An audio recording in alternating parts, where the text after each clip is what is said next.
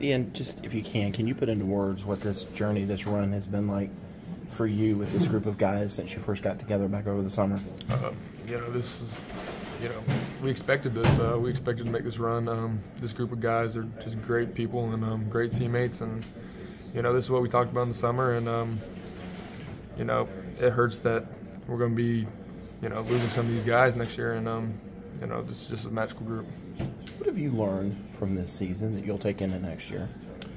Um, I, have learned a lot over the course of the season. Um, you know, just figuring out my game overall, um, figuring out where I got to be better. Um, you know, I missed a lot of free throws today, and um, you know, I, am gonna carry that that weight on my shoulders probably all off season. So um, I've learned a lot all year. At what point, you know, obviously you're going to have a plane ride home. You'll get home. You'll think about it. At what point do you put this in the rearview mirror and start looking to next year? Yeah, um, you know, it's kind of one of those things. Uh, it's kind of hurt for a little bit, um, but you got to use it as fuel for next year. Um, you know, there's going to be another team. It's how it works, and um, you know, we got to focus on improving and getting back to this uh, position. And, and, you're right, losing some great guys, but there's a pretty good nucleus coming back. I mean, how do you, you know, obviously Brad will recruit the portal, bring in some guys, but how do you feel about this team going forward?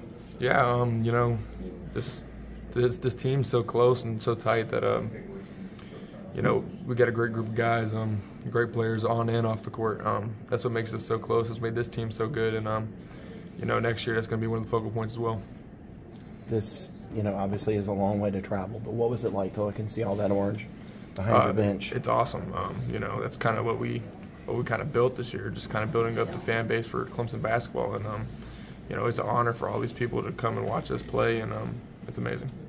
Uh, I don't know if you saw it or not, but you were named to the All Region Western team. Does that mean anything to you personally?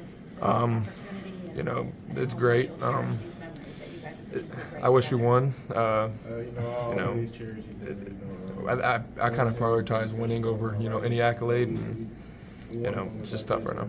What was Coach Brownell's message to the team when you came in here? Just, just proud of us. Um, you know, a lot of people started doubting us uh, after the ACC tournament. Um, we had an up and down year. We started off well, and um, just that he's proud of us, and um, you know, I'm proud of these guys as well. Uh, we stuck with it even when people were starting to cut us out. Uh, you know, we had a great season.